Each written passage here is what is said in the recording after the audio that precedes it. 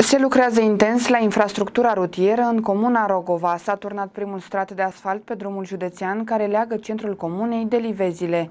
Nu de mult acest drum era aproape impracticabil, fiind nevoie de această investiție pentru ca cetățenii să poată beneficia de condiții optime de trafic.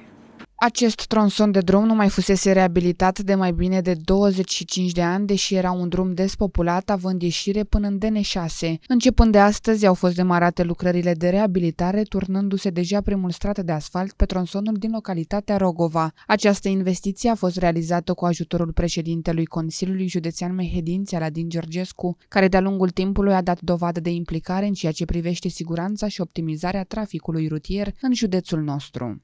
Drumul județean care leagă centrul comunei Rogova de Livezile și de fapt se continuă mai departe până la Bistrița, până în DN6, avea nevoie de reabilitare pe acest uh, tronson în, uh, în interiorul comunei Rogova. Am uh, demarat această investiție, iată că am ajuns în punctul în care astăzi a început să se toarne primul strat de asfalt. Este o investiție făcută în interesul locuitorilor comunei Rogova și nu numai pentru ei, și pentru cei din celelalte localități care trec zilnic pe aici, în condițiile în care acest drum nu mai fusese reabilitat, din punctul meu de vedere, cred că de cel puțin 20-25 de ani. Costinel Vanvu, primarul comunei Rogova, un gospodar implicat, a fost prezent la fața locului pentru a urmări îndeaproape lucrările de reabilitare, fiind mulțumit de această investiție care îmbunătățește considerabil condițiile de trai în comuna pe care o reprezintă.